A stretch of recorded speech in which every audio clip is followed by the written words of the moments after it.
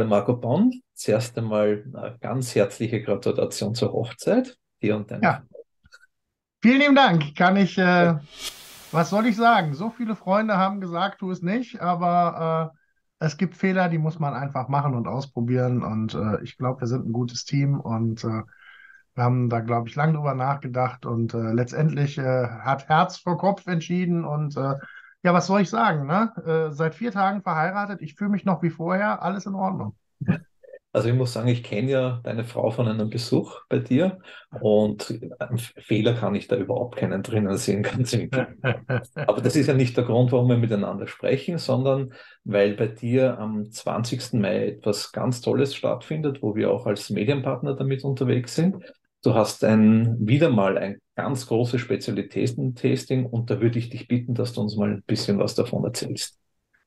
Ja, also ähm, ich habe ein besonderes Spezialitäten-Tasting, ist vielleicht sogar ein bisschen groß gegriffen. Ich äh, stelle die Räumlichkeiten zur Verfügung und freue mich unglaublich, dass das bei uns im Whiskyhaus stattfinden wird.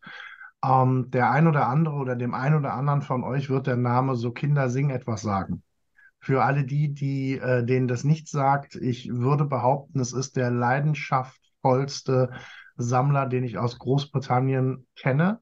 Ähm, die Eltern ähm, haben mit dem klassischen Weinhandel angefangen und er und sein Bruder haben irgendwann, sind sie quasi in dieses Business mit eingestiegen, haben irgendwann das elterliche Geschäft gemeinschaftlich veräußert und aus dieser Veräußerung heraus ähm, ist äh, meines Wissens nach die, ja, der größte Online-Markt Großbritanniens entstanden, nämlich die Whisky Exchange. Ja.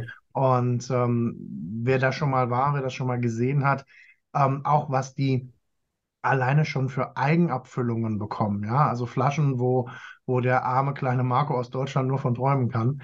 Ähm, das ist, das ist ein ganz, ein ganz großer Player in, in der Szene. Mhm. Und ähm, darüber hinaus äh, würde ich behaupten, äh, zeichnet ihn eine unglaubliche, äh, akribische äh, Arbeit, eine unfassbar leidenschaftliche Sammelleidenschaft und ähm, ja, immer wieder die Lust auf Neues aus. Also ähm, mittlerweile verbirgt sich hinter ihm, also es ist jetzt gerade ein Deal äh, entstanden.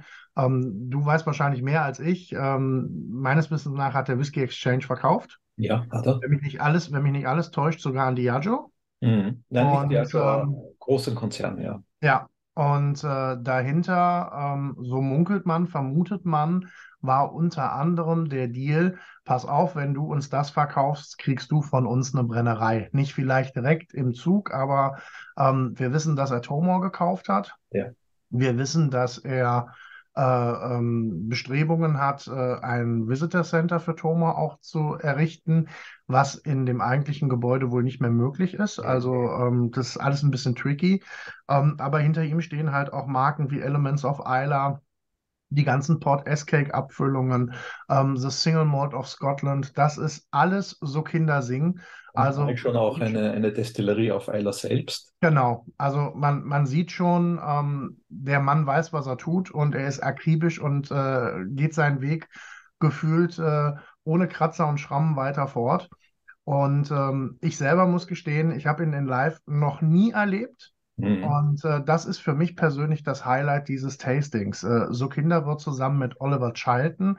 Das ist im Grunde genommen so sein Fassmanager, ne? Der, der das Fassmanagement macht, der äh, guckt, welche Abfüllung in welcher Serie und äh, welchen Whisky lassen wir wo drin nachreifen, ähm, was muss noch liegen bleiben, was kann abgefüllt werden. Also im Grunde genommen der Mann der Fässer und er selber werden bei uns vor Ort sein und werden eine, ich glaube, das darf man jetzt schon sagen, recht legendäre ähm, Abfüllserie präsentieren. Die ganze Serie wird heißen Macbeth. Mhm. Und äh, es wird insgesamt, ich meine, 43 Abfüllungen geben. Die Charaktere bei Macbeth müssten, nagel mich fest, entweder 42 oder 43 Protagonisten sein.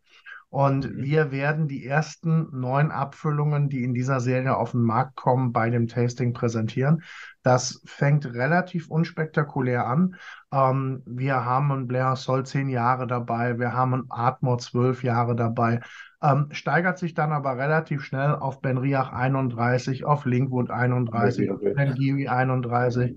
Und die ähm, alles entscheidende tragische Figur der, jetzt sage ich nochmal Tragik, der Tragik-Geschichte äh, äh, äh, Macbeth ähm, ist im Grunde genommen King Duncan. Und King Duncan wird auch das Highlight äh, des Tasting-Abends sein. Äh, King, King Duncan wird ähm, repräsentiert oder, oder ähm, äh, tritt in Erscheinung in Form eines 56 Jahre alten Glen Grants aus dem Sherry Cast mit 48,2 Volumenprozent. Und dann muss man sagen, hier sind wir auch preislich extrem, extrem abgehoben. Ähm, das Fläschchen wird später liegen äh, UVP bei schlappen 10.900 Euro. Und den werden wir unter anderem aufmachen.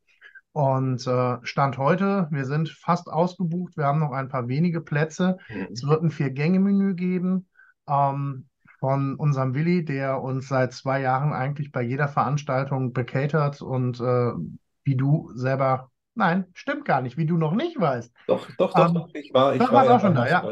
Ähm, das Essen ist wirklich grandios, was der ja. Willi auf dem Teller zaubert. Und dazu gibt es die neuen Whiskys und wir bieten zwei Varianten an, die 1CL-Variante und die 2CL-Variante. Bei 1CL liegst du bei 199 Euro, bei 2CL liegst du bei 379 Euro. Mhm. Ja, damit ist nicht der schmale Geldbeutel ähm, das äh, Ziel, das wissen wir. Ähm, wir haben es tatsächlich aufs absolute Minimum runtergerechnet. Ich verdiene an dem Abend äh, ungelogen, keinen einzigen Cent. Es geht mir darum, ich will die Whiskys kennenlernen und vor allen Dingen, ich will es äh, ja aus dem Mund des Meisters selbst hören. Also man, man, muss ja sagen, der Preis ja, aber wann hat man schon die Gelegenheit, einen 56-jährigen Glencairn, von denen man ohnehin weiß, dass die hervorragend altern, zu verkosten? Ja. Noch dazu acht andere sehr schöne Whiskys und ein tolles Menü. Das kann ich nur unterschreiben. Also Vier-Sterne-Menü ist ein platter Ausdruck für das, was man dann wirklich äh, äh, geboten, also Vier-Gänge-Menü sollte eigentlich vier Sterne. Ja. Ja, komm. Nein, aber wie gesagt, also ähm, die Whiskys sind das eine. Ich persönlich glaube, dass der, ja, dass der Star des Abends ganz klar so Kindersing ist. Ja, das glaube ich auch, weil das ist eine, eine richtig interessante Persönlichkeit. Mir persönlich tut es leid, dass ich das äh, nicht dabei sein kann, aber Whisky Experts wird vor Ort sein. Und ja, ich schaue schon mit ein bisschen Neid auf das alles. Dann, ja, dann Marco, dann wünsche ich euch viel Erfolg bei dieser Veranstaltung. Vielen, vielen Dank. Ja, hat mich gefreut, wieder mal mit dir zu sprechen. Hoffentlich dann auch bald wieder mal auf einer Messe persönlich und live. Ich würde vermuten, ich habe eine gute Chance, dich in Mülheim zu sehen. Ja, das hast du auf jeden Fall. Und dann sehen wir uns spätestens in Mülheim. Vor allem würde ich mal sagen, steht ja bei euch dann hoffentlich auch noch eine Auszeit und eine Hochzeitsreise an, oder? die Hochzeitsreise hättest du nicht äh, erwähnen dürfen. Äh, die äh, habe ich genau mit diesem Tasting meiner Frau vernichtet. Ähm, Michel rief mich an und sagte, wir haben die große Möglichkeit, wir können, das ist eine Weltpremiere, willst du? Und äh, dann habe ich natürlich Ja gesagt und habe dann in meinen Kalender geguckt und habe gedacht, ach du Schande, das ist genau das Wochenende in den zwei Wochen Flitterwochen, die wir machen wollten. Und dann bin ich ganz reumütig zu meiner Frau gegangen, habe gesagt, Schatz. Und äh, jetzt werden wir, wenn wir denn flittern, werden wir das wohl in den September verlegen. Ich hoffe, dass Michael nicht wieder auf irgendeine dumme Idee kommt. Und äh, also aufgeschoben ist nicht aufgehoben. Dann drücke ich dir die Daumen, dass das klappt und wünsche dir alles Liebe. Danke, euch auch. Macht's gut. Ciao. Ciao.